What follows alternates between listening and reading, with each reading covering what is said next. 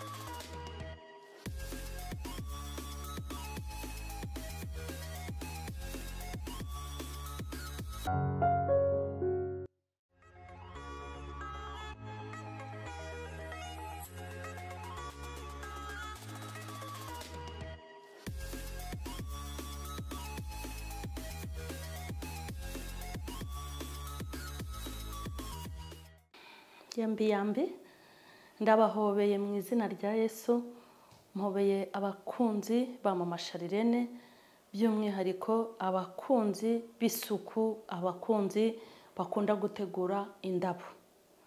Murabona yuko mpagaze iruhande rw'ibintu bimeze nk'indabo n'amavaze ubushize hari ikiganiro twakoze mbereka ukuntu ntegura indabo zanjye zo mu rugo babwira ukuntu nkunda gutegura indabo ziri natirere kandi nkakunda n'ibirahuri. Hanyuma rero ngira ngo twarabikoze ariko uyu munsi nabwo nari ngarutse kubereka ukuntu ushobora n'ubundi gutegura. Hari hari uburyo uteguramo indabo ziri natirere utagiye no kuzigura warazishakiye ziri aho aho hafi.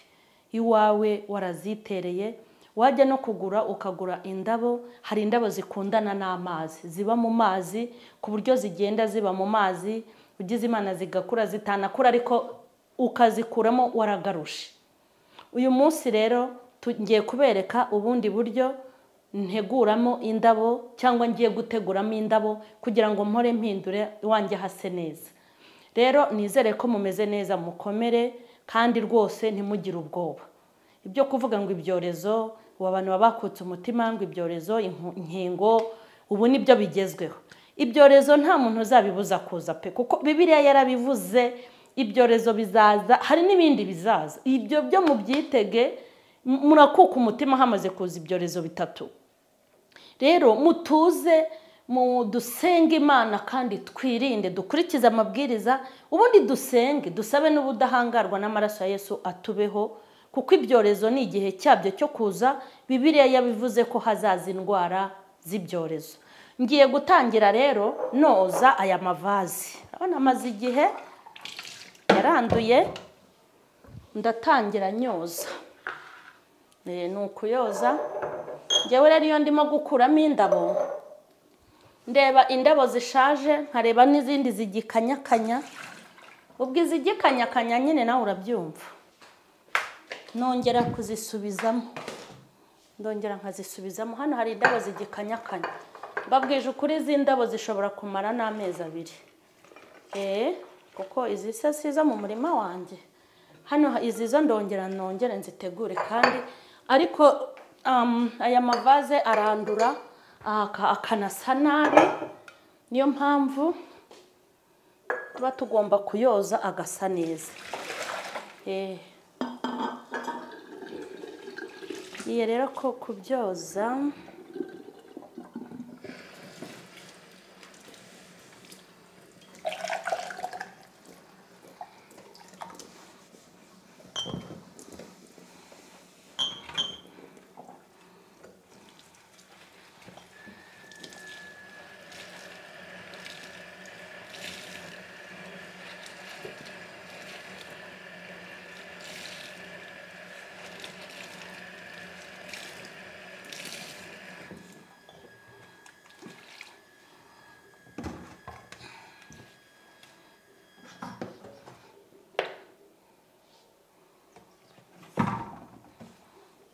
Byoza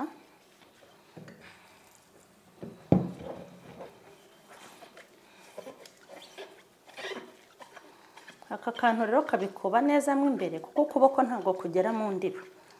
Ariko aka gafuka kameze gutya.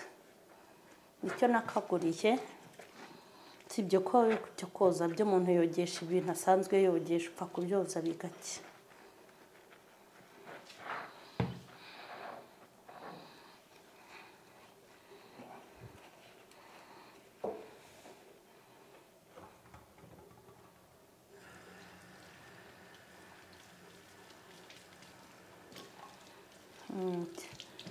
Iyo ukogeje rwose.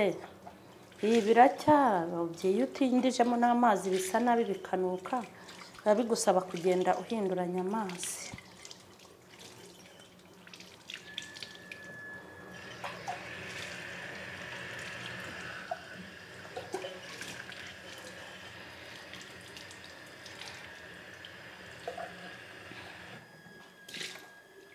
Cyakeye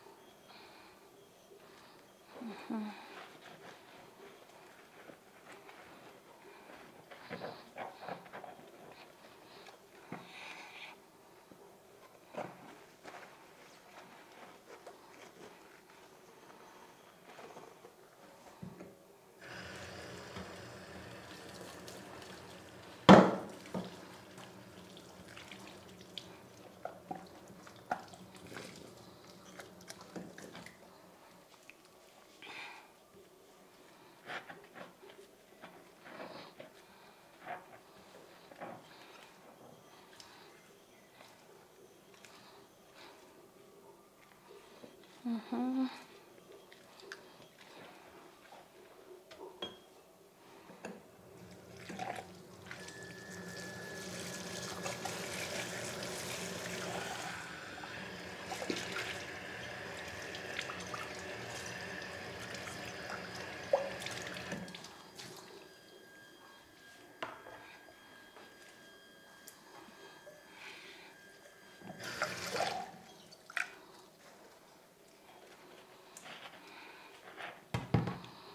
Iyo ubyogeje bihita bigira ubundi bwiza urabyoza ukoza n'indabo ugiye gushyiramo umva?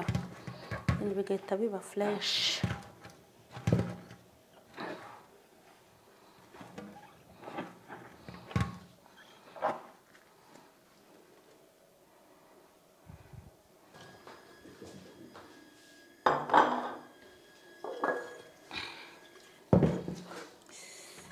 Eh, kubyoza ni akazi.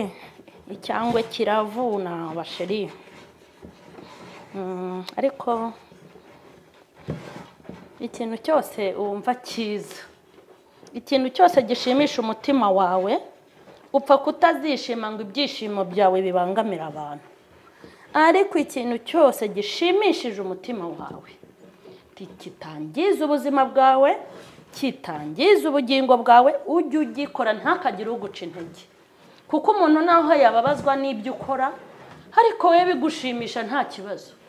Kuko umunezero wa mbere nkwiye kugira ntago ari uw'abantu. Ngiye nkwiye kubanza kugira umunezero wanjye nishakiye. Rero ibi byose biratuvuna kuko tubikunda. Kandi burya iyo ukunda ikintu hari icyo kimara no mu buzima bwawe. Icyangwe rero kiravuna. Inzu umuntu waje kuwufasha. Kumanika ibintu byo guterekaho indabo rwose. Rimwe arabwa atariko atariko atariko atariko ubusirimu buravuna. Ubwo yabonye amafaranga namuhaye areba ibyo bintu ukuntu biba byamuhaye amafaranga. Arebye babona ntibyihutirwa ntibinakeneye ariko iyo mbonye indabo ye baba datawe nkunda indabo? Nkunda indabo ku rundi rwego kandi nazikunze kera nuko nta bushobozi bwo kuzigura nari ifite nta n'aho gutegura nagiraga. Rero nkunda indabo. Amavaze rero eee mwayabonye? Ako utu tuntu koko mana murabona atari kwiza ndebera koko. Ako shemana haputse Uuu, tuntu rata murabona atari atari kwiza ibi birahure um, utararebye ikiganiro cya mbere. Ibi birahure nabiguze ruguru y'isoko ku iduka nimba ari iry'abahinde nimba ari aba niha ntago mbizi ni abantu bacuruza nyine y'abantu nk'abo. Ruguru y'isoko nubishaka ni ho uzabikura. Hanyuma rero tugiye gushyiramo indabo ni cyo dukurikijeho. Twagiye.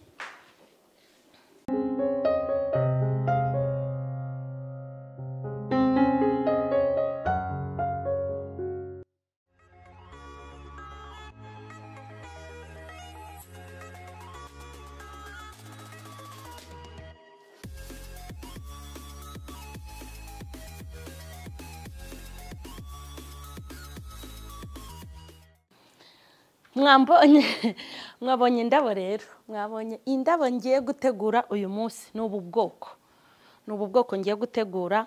Ngiye nababwiye ko nkunda indabo ziri natirere kuzitegura mu birahure rwose byo murabizi. Wenda ikintu nzakora nzongera ngura ibindi birahure binini binini cyane bijyamo ibirabo byinshi. Izi rero nizo ngiye gutegura uyu munsi. Ubu hano muri ibi bidobo harimo amazi munsi kuko izi ndabo zibera mu mazi zikunda amazi. Kuko rero ndazikunda cyane hanyuma ni ukuzitunganya. Ni ukuzitunganya. Ntabwo ari ugupfa gutegura. Ni ukuzitunganya.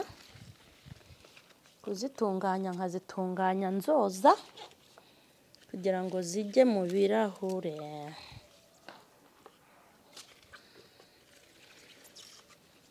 Eh, ubu ni bwo buryo bazibikamo izi ndabo.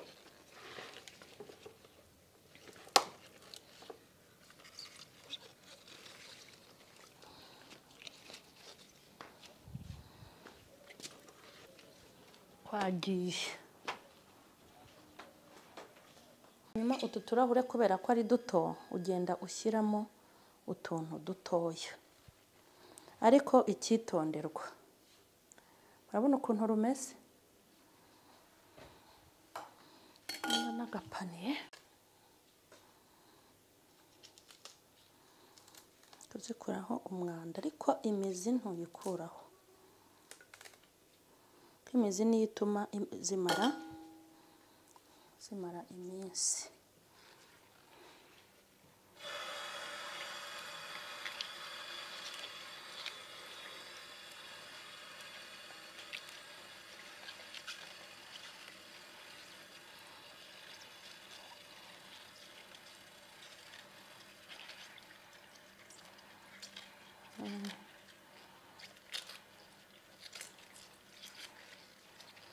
Urazoza zikagira isuku zigasa neza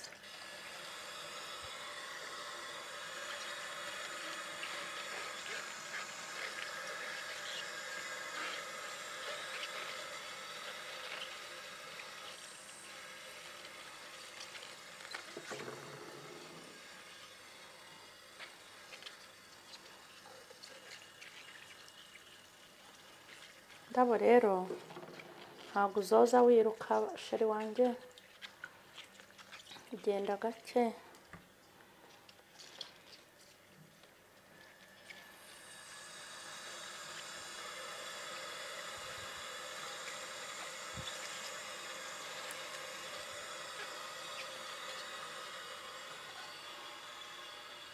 Ubu rumaze koga.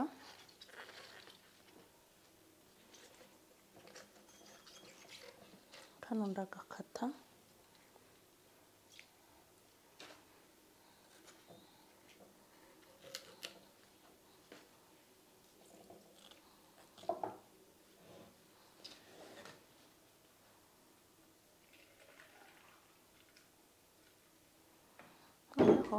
Ikindi kigiye gukurikiraho ni iki? Gutyo urabona ko ari rwiza. Ariko kuko nkeneye ko hano ku ruhande iyi vaze yanjye igaragara neza. Ngiye kukwereka ibindi ngiye gukora. Ngiye gufata uru.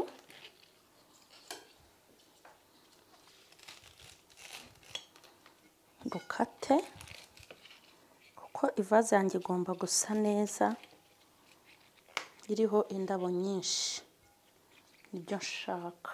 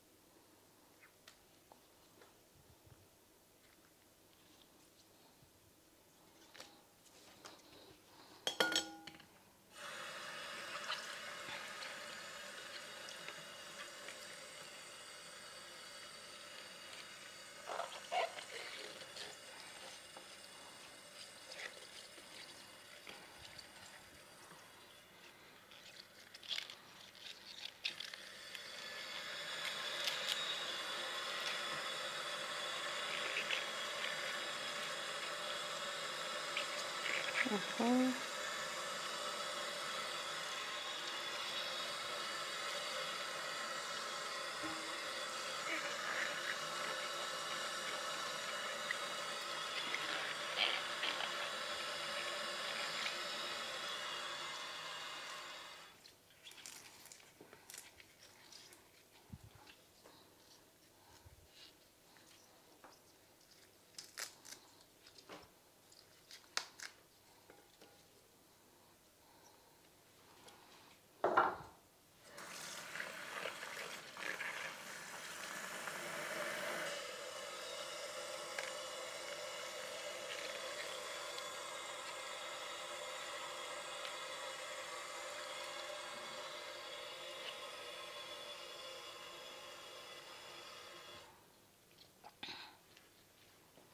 Urabona nimba muri kundeba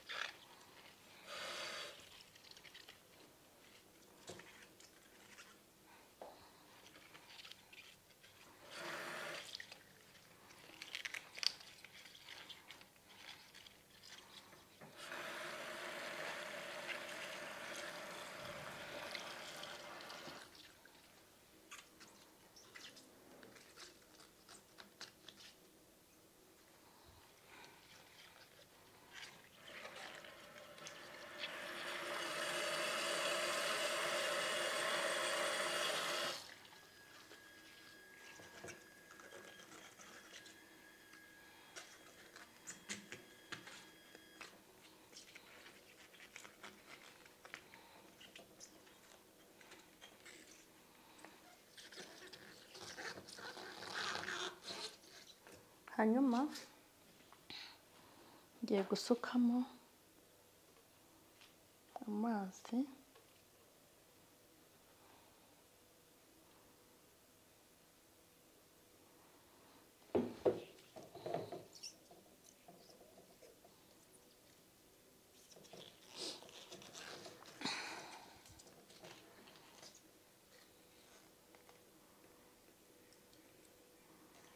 gushyiramo amazi ku buryo intuza yuzura.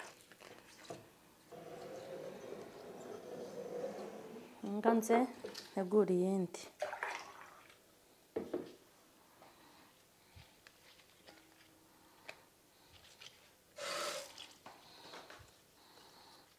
Cyane biba byiza kurushaho kurusha amavaze matoya.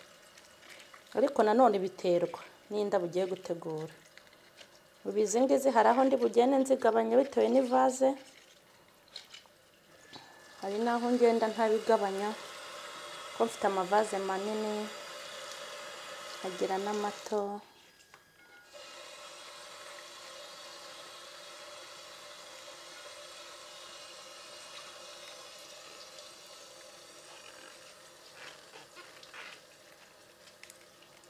Hanyuma mwabonye dore.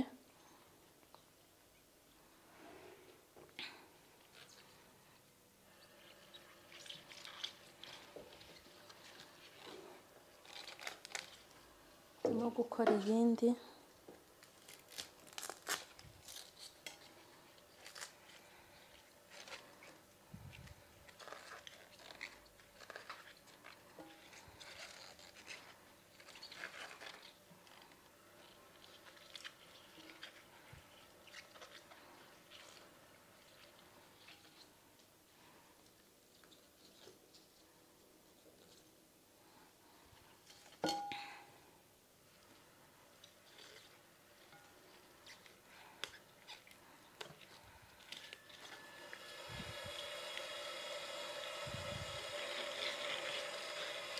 urayoza kugira ngo isani ise neza mu ntuza.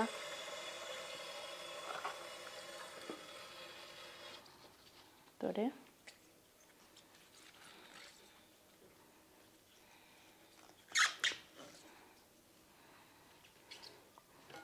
Ubwo rero iyo umaze gushyiramo ziriya izindi zi- zi- uziterera hejuru upfa kuba kari mu mazi. Icy'ingenzi ni uko kaba kari mu mazi gusa.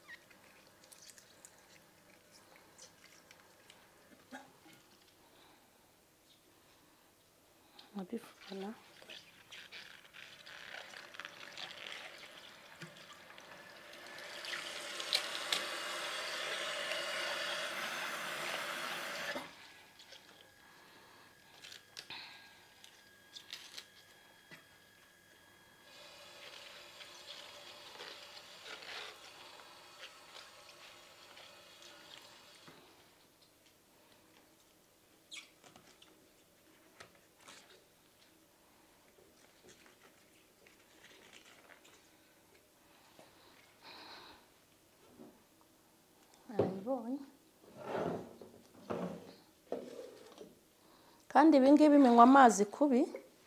Eh ugenda ujya kubisura kugira ngo urebe neza ko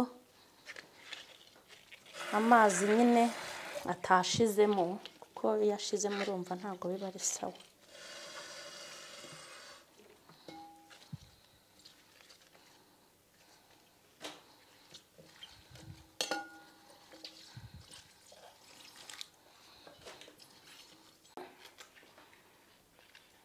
Upfa gusiga imizi ukagisigira imizi naho kaba ari akazi kamwe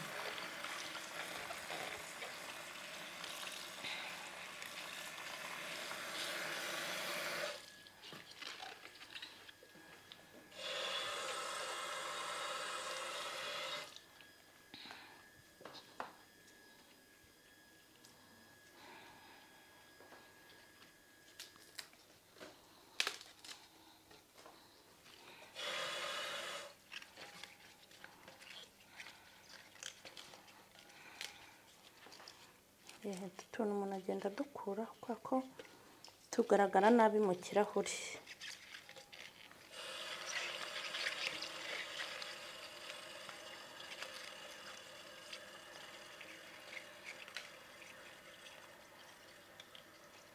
hano ukuntu ndi kuzikorera isuku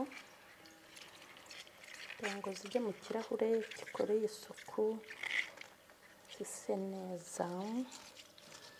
Ariko si ubundi kuki mutajya mumpa ibiraka byo kubategurira? Ngaho da. Mm. nyamara urabona nje kugutegurira ntago ntagusigira icyangwe. Rwose pe umuntu uzashaka ko mutegurira umuntu uzashaka ko mutegurira akambwira ati mama sharirene ndashaka iwanjye uhagire nk'uko wagize iwawe. Nimba ari ibi biki byose nzaza byose mbyizaniye ubundi tuhatwike hashye Eh, ikibi ni uko hakongoka. Rwose rwose nukenera ko nza gutegura iwawe. Nzaza pe. Cy'ingenzi se si uko si umufungo. Eh. Umufungo.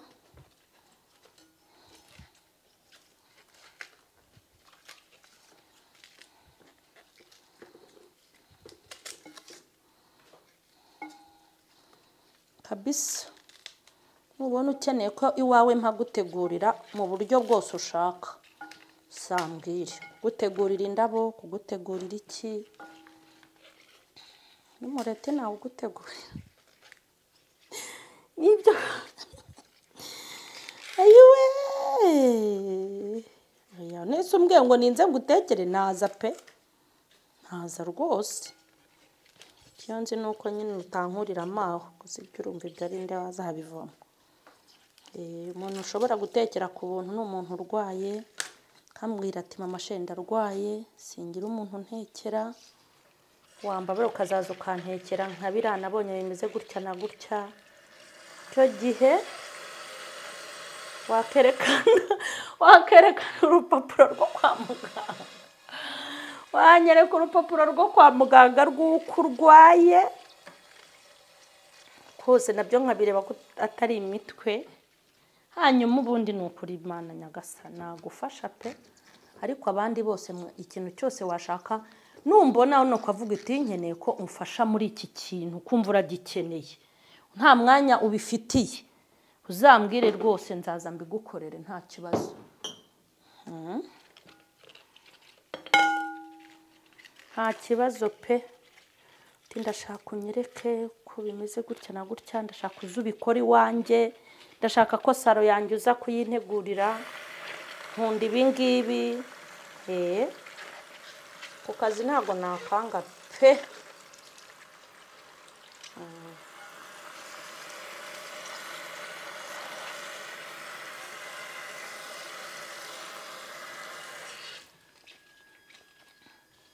Urabona ko twakomeje gutegura.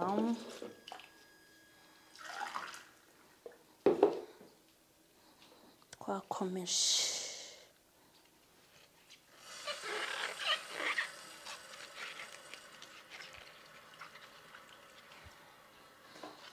Eh, akarabo kadasa kadafite icyatsi gisa neza ntabwo njya ngategura ndakajugunya.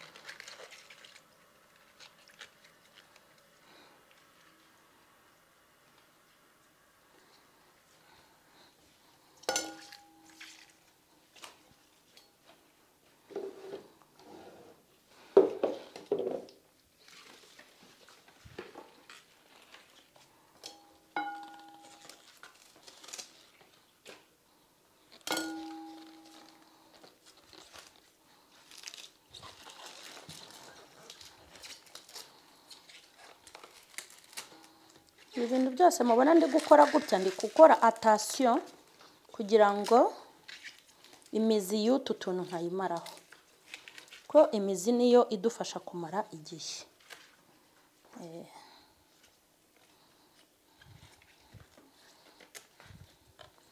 ariko nanone kubera ukuntu ibi tuba tudasa neza niyo mpamvu hari ibyo tugomba gukuramo.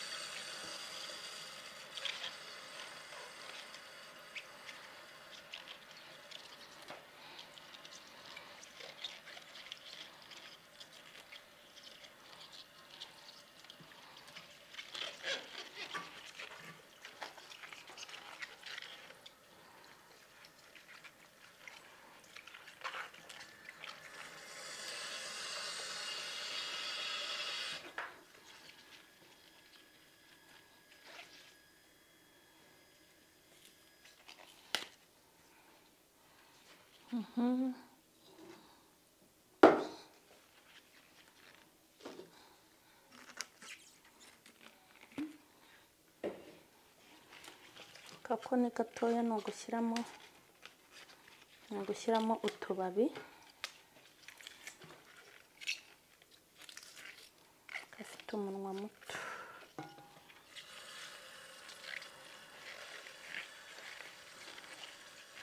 Kantiba uhagaritse noneho. Ko ngeze ku mavaze manini maremare.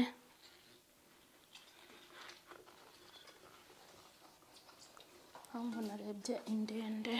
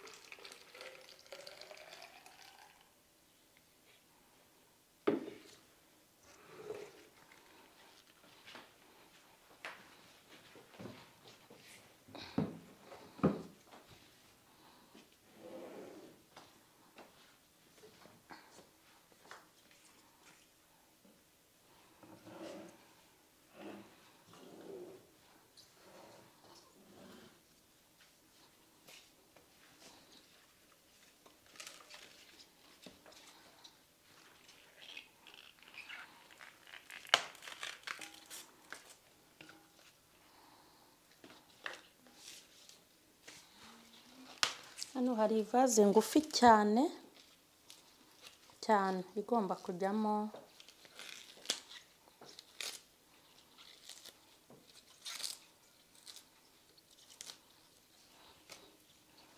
Igomba kujyamo utuntu tugufi.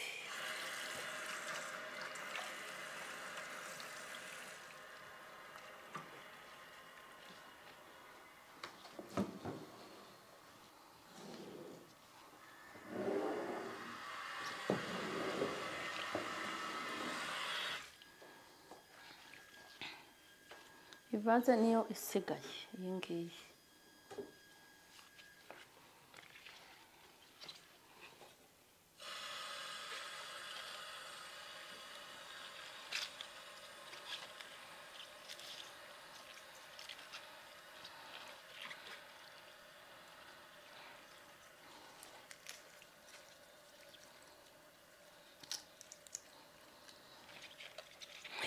Kuzikorera isuku ntabwo biba byoroshye no kugenda witonze gake kugira ngo utazangiza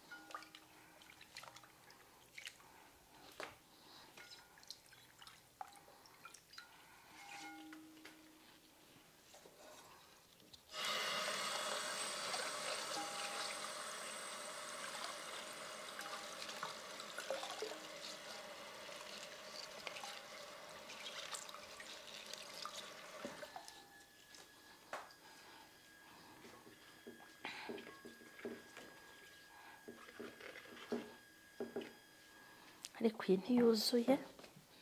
Ndebe indi.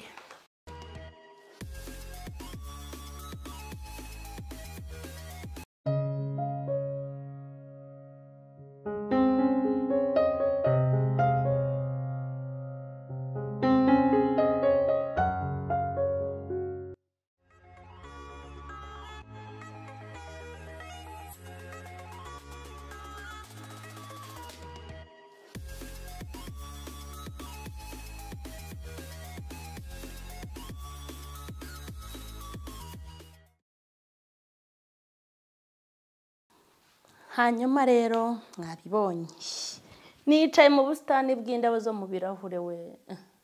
Mwabibonye ukuntu ari twiza aratakomana utuntu ni ukuri imana indabo ni nziza pe ndazikunda. Hanyuma mwabibonye ko namaze gutegura hari n'izo nashyize mu birahure. Burya rero ibi birahure ibi birahure bisanzwe tunyweramo do. Ibi birahure bisanzwe tunyweramo na byo babiteguramo. Se ntubibona? Ibi birahure nabikuye muri tedemiri nteguramo ariko n'iyo ushatse ubinyweramo nyine. Ariko njye narabiguze kugira ngo mbiteguremo. Hanyuma rero tugiye gutangira gutegura indabo. Tuzishyira he? Mwahabonye dore ngaha. Mwahabonye ukuntu hameze? Ururabo rwa mbere. Ndabitereka hano.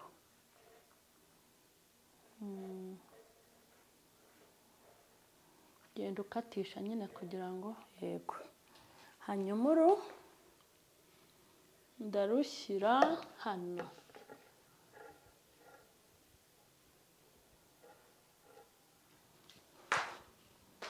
Bitangiye kuryoha? Uru ndarushyira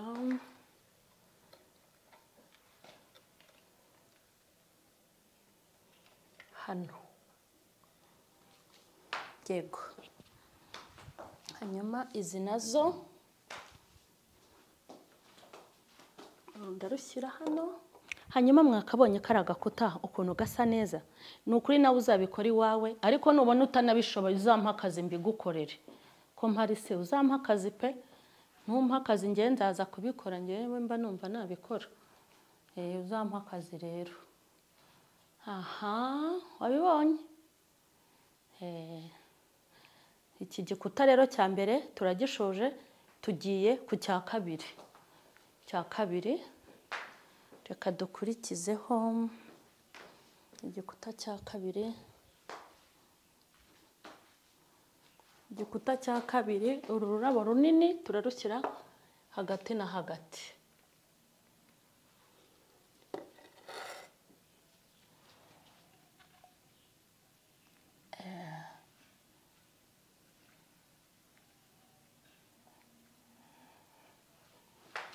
Ahabonye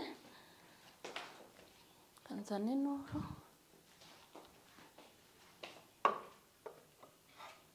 n'uru nababwiye ngo ubu iki ni ikirahure kimwe umuntu anyweramo? Ariko nawe urabyumva ntabwo wafata ikirahure cyo kunyweramo hanyuma ngo uze ugiteguremo. Ubwo nyine nimba ari icyo guteguramo n'icyo guteguramo. Hano naho murahabona ko ari sawa. Tugiye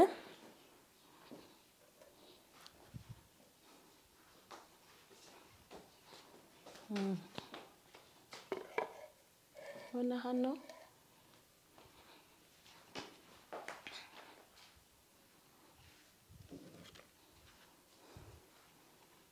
Ibi byose ni ibirahuri ibi ibirahure bimwe banyweramo ariko ni ibyo gutegura naguze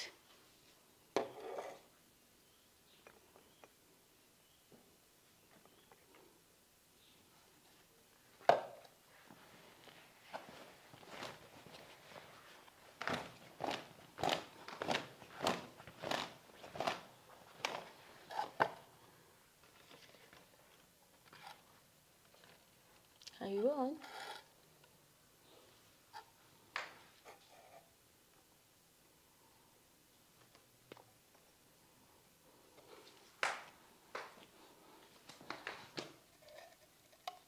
yego hanyuma n'aha rwose bahabafotorere murebe ukuntu bisa neza.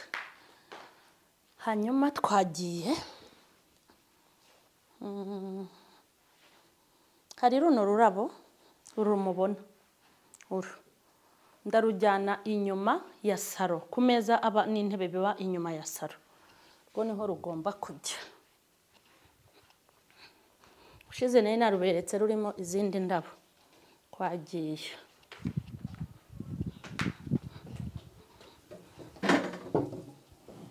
hari ururwo ndongeramo n'izindi pe.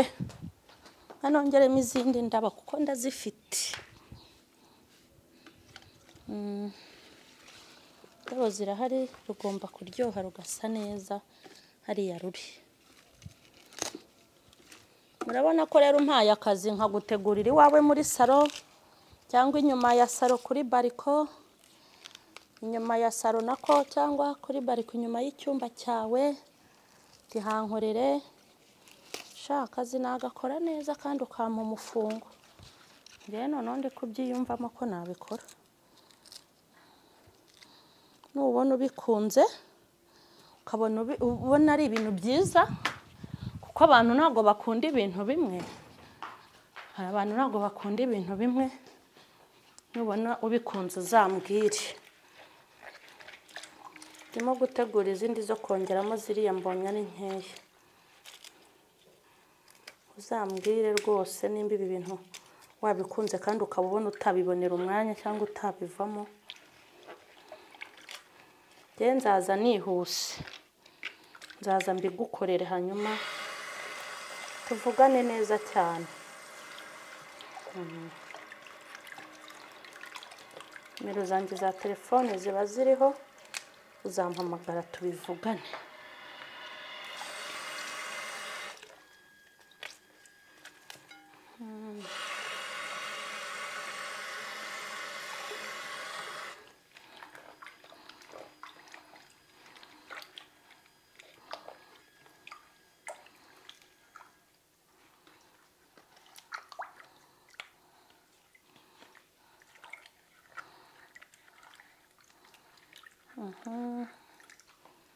Ndabona izi noneho ziri buhatsi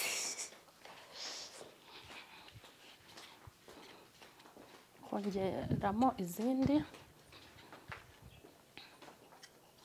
iki kirahure kiba ari kinini cyane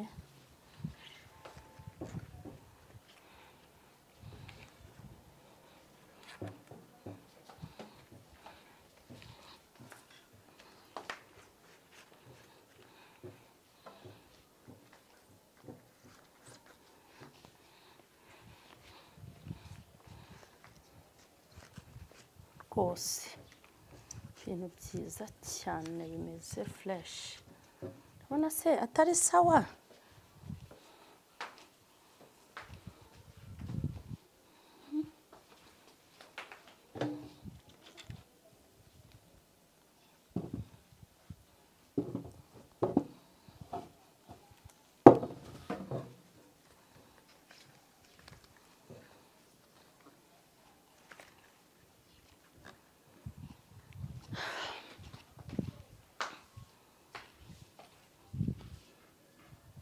Eh.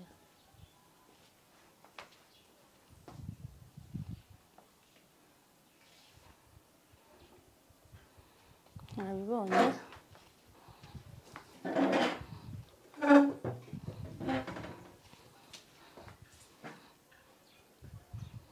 Aha ni inyuma ya salo. Hanyuma ahandi hasigaye. Aho.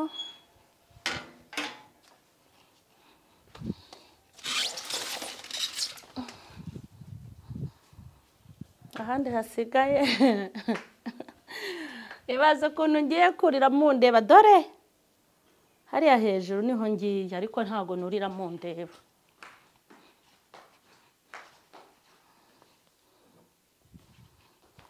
Do, hariya hejuru ngiye kuhatereka uru rurabo.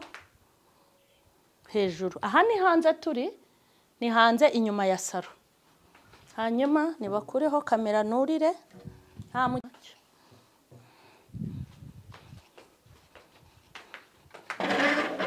mwahabonye hanyuma tugiye kurira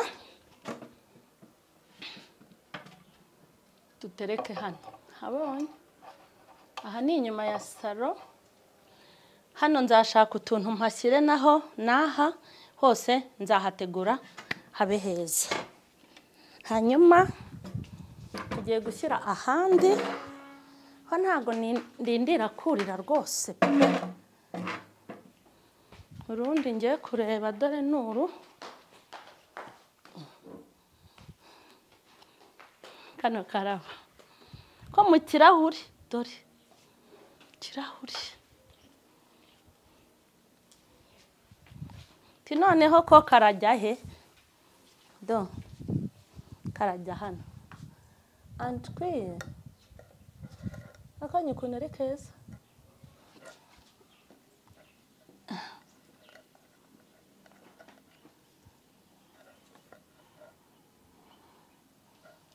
dore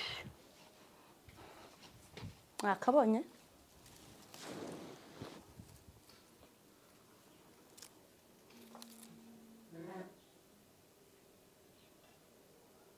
ahangaha ni inyuma ya saro turi hanyuma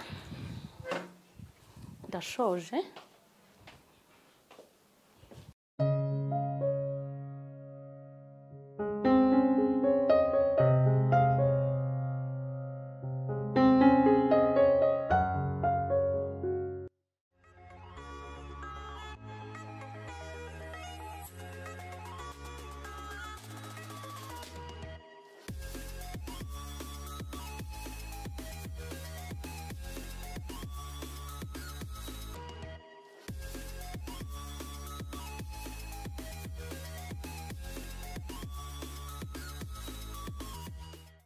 Hanyuma rero mwabibonye yuko bimeze neza nawe nubikunda uzabikore rwose haragaragara neza unahinje ubona ari byiza kandi tuzagenda tubereke tubereka n'ibindi n'ahandi uko tuzagenda dutegura. Hanyuma rero imana ibaho umugisha abakunzi banjye bakunda ibyo nkora kandi murampamagara rwose mukabimbwira bikagenda neza. Hanyuma nk'uko nabibabwiye n'uzaba wumva ukeneye ibi bintu uti nge sinabibonera umwanya cyangwa sinanabivamo wazampamagara kuri nimero yanjye iba iri mu kiganiro iba yanditse ku kiganiro hanyuma nkazabigufasha nta kibazo. Hanyuma imana ibaho umugisha abatarakora sabusikarayibu nimukore sabusikarayibu mukore sheya na komenti zanyu nta kibazo ubujyanama bwanyu n'abandi bantu bafite ibintu byiza abafite indabo nziza mucuruza amavaze meza mujye muzana tunabamamarize tubibwire abantu tubyereke abantu n'abandi bafite ibindi bamamaza muzabizane tujye tunabamamariza nta kibazo. Imana rero nibaho umugisha murakoze.